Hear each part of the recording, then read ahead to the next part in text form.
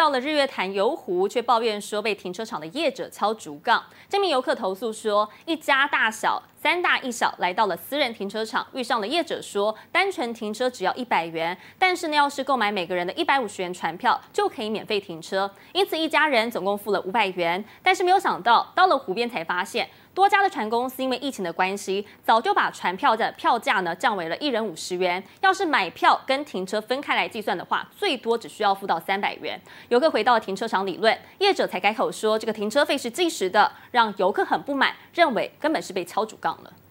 日月潭风光明媚，不少人来这首选游湖。不过，却有游客上网抱怨，自己车停伊达少国小旁私人停车场，顺便买个船票，竟然就被店家敲竹杠。船票他们就写说一百五，然后就说，哎。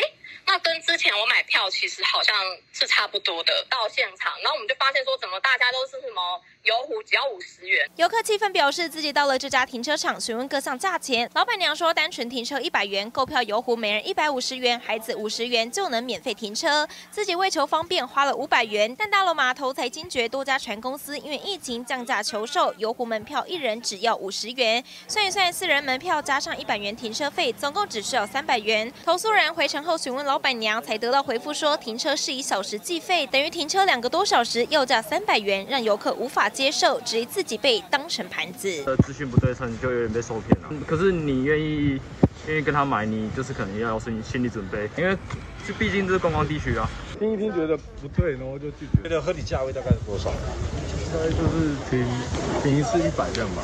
实际来到停车场，老板低调不愿受访，但停车一百元是计次还是计时？业者若不说清楚，的确容易产生误解。若发生消费纠纷，也能采用录影录音的方式，向消保会或消基会来投诉。